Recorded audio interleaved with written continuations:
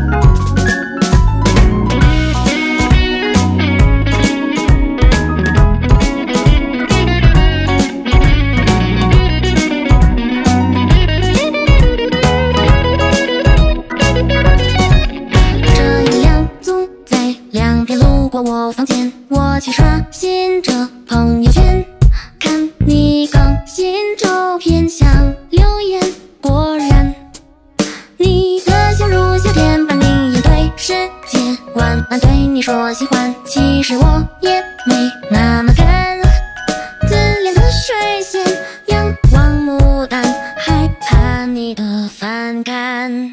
当一想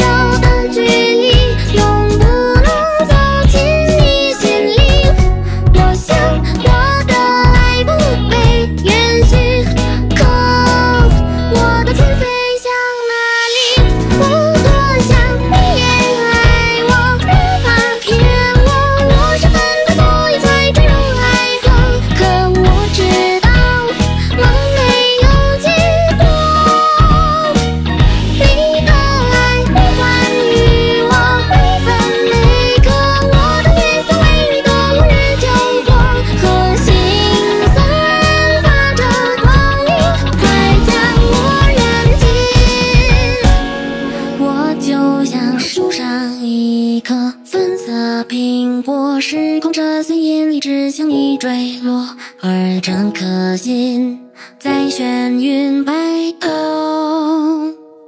我对你第一反应害羞欢喜，然后无法抑制的颤抖不停。